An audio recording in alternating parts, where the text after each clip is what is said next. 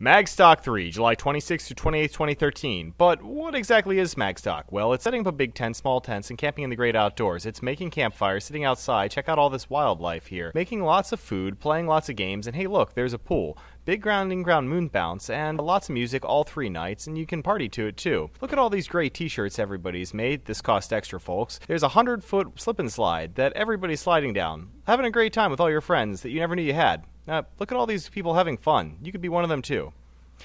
Yeah, it's kind of like that.